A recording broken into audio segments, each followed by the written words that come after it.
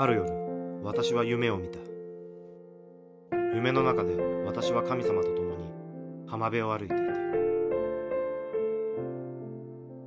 空には私の人生のさまざまな場面が走馬灯のように映し出された。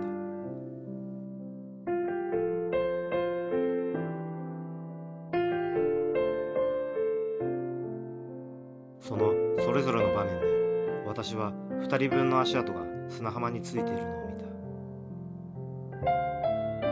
一つは私のもの。そしてもう一つは神様のものだった。驚いたことに私の人生の中で足跡が一人分しかない時があることに気がついた。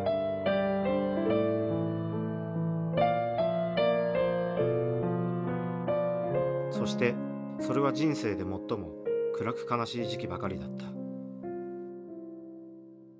私は神様に尋ねた。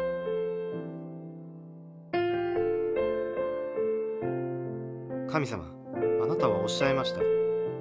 一度私があなたについていくと決めたならあなたはずっと一緒に歩いてくださると。しかし私が辛く悲しい時期に砂浜には一人分の足跡しかありませんでした。